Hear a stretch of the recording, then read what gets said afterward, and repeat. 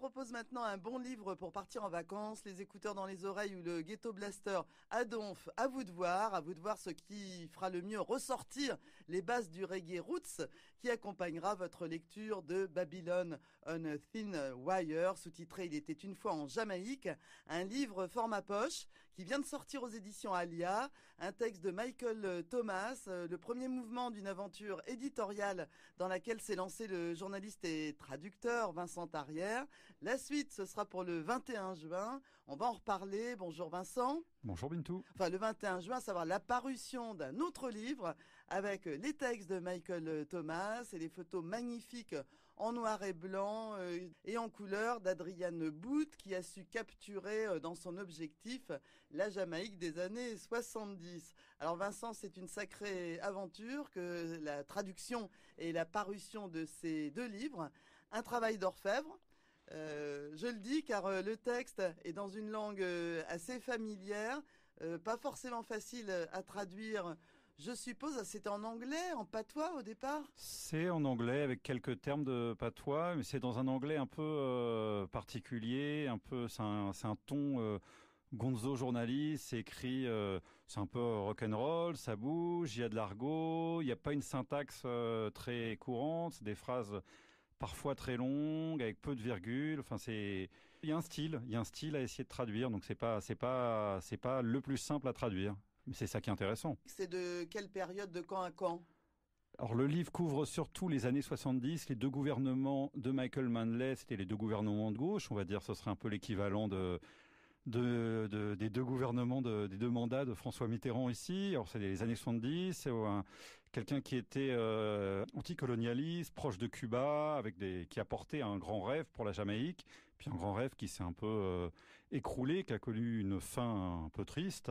C'est euh, autour de ces années-là, mais on apprend aussi des choses sur ce qui s'est passé avant, l'histoire de la musique, et, euh, et, des gens, de la musique, les rastas, mais aussi les, les petites gens de, de tous les jours. Puisque quand on parle des années 70, c'est aussi euh, la, la, période de, de bah, enfin l'explosion du, du, reggae. Oui, alors quand en fait ce livre a une histoire un peu longue, il est il est paru une première fois en 76 à l'époque où Marley le reggae n'avait pas était sur le point d'exploser euh, en Occident, mais n'avait pas encore explosé, à une époque où peu de gens savaient vraiment ce qui se passait en Jamaïque.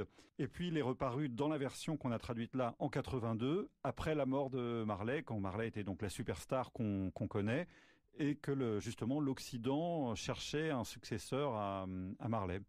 Et depuis, il était épuisé, donc ça fait quasiment 30 ans.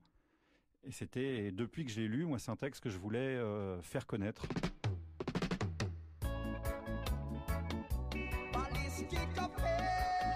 Des histoires, des anecdotes balistiques, il y en a dans ce livre qui s'est d'abord appelé donc ce livre de Michael euh, Thomas, Babylon on Sin Wire. Puis euh, lorsqu'il a été réédité, ils ont décidé de, changer euh, le titre. C'est devenu maintenant en français. Il était une fois en Jamaïque. C'est Vincent Tarrière, toujours avec nous, qui nous l'explique, n'est-ce pas? Il était une fois la Jamaïque, ça fait évidemment référence à Il était une fois l'Amérique, Il était une fois la Révolution, Sergio Leone, les westerns qui étaient très populaires en Jamaïque, mais c'est aussi une manière de dire, c'est une histoire qui s'est passée il y a 30, 40 ans. Maintenant, c'est c'est la particularité de cette histoire, ce qui fait son intérêt, c'est qu'elle date de 30-40 ans, mais rien n'a vraiment changé depuis. Elle continue.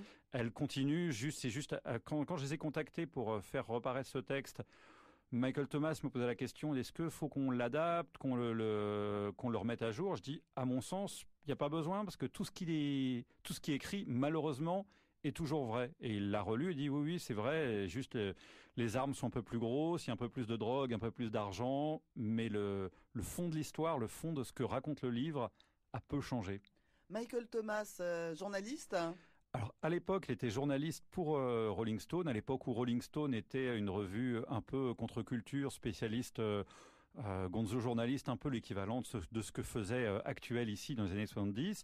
Lui, il était le spécialiste des Caraïbes et de l'Afrique, des, des coups tordus, des républiques bananières, des, de ces choses-là. Maintenant, il est plus du tout journaliste, quelqu'un qui travaille dans le cinéma. Et Adrian Booth, lui qui est anglais aussi, à l'époque vivait en Jamaïque pendant toutes ces années-là. C'est pour ça qu'il a des photos du d'une incroyable proximité avec les gens parce que c'était le seul photographe occidental sur place. Il était professeur de physique à l'université de, Jamaïque pendant toutes les années 70. Les photos sont effectivement euh, superbes. Euh, que dire euh, Il y a des portraits, c'est-à-dire qu'on a l'impression effectivement de, revivre cette période ou de rentrer dans les ruelles bah, que traversaient les, Jamaïcains dans leur vie quotidienne. Il y a aussi un, certain nombre de, stars, évidemment, de la musique. Euh, que l'on croise. Je dis toujours, c'est un livre sur la Jamaïque, c'est-à-dire qu'à mon sens, on peut l'apprécier même si on n'a que faire du reggae.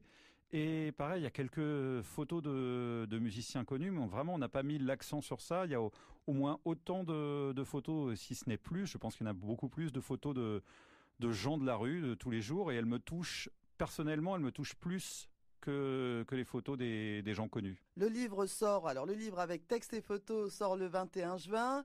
Euh, c'est chez Patate Records. C'est 30 euros. Ça vaut la peine. Il sera en vente euh, dans différents lieux. Alors, il sera en vente, en tout cas, euh, chez Patate Records, sur le site de Patate Records, dans certaines librairies, c'est-à-dire dans les librairies qui accepteront de faire du dépôt-vente. C'est pas facile quand on sort en fait un livre qu'on n'est pas éditeur, qu'on n'a pas un catalogue. C'est très compliqué de, de se faire distribuer. Donc la distribution va être un peu euh, au cul du camion, comme on dit, et on y va avec le couteau entre les dents, euh, façon euh, façon ragamuffin, dirait les Jamaïcains. la version Aléa, elle, sera distribuée dans toutes les librairies.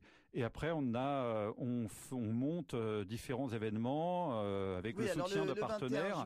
par exemple, et par exemple, Agnès B qui qui nous aide sur ce coup-là, qui nous a proposé un premier événement pour la fête de la musique, un centre système pour fêter les 50 ans de de Studio One qui se passe dans une boutique Agnès B rue de Marseille avec euh, Soul Stereo donc un à, Paris. À Paris rue de Marseille à Paris à côté du canal. Euh, Soul Stereo donc un centre système parisien euh, très connu et deux vétérans de Studio One Lone Rangers et Jim Brown. Et pour l'occasion on fait une mini expo photo avec entre 15 20 clichés on a en projet une expo euh, plus développée à la rentrée, vers septembre, octobre. À suivre, euh, Vincent Tarrière, merci. Nous tiendrons les auditeurs au courant. Merci Bintou. Et bravo.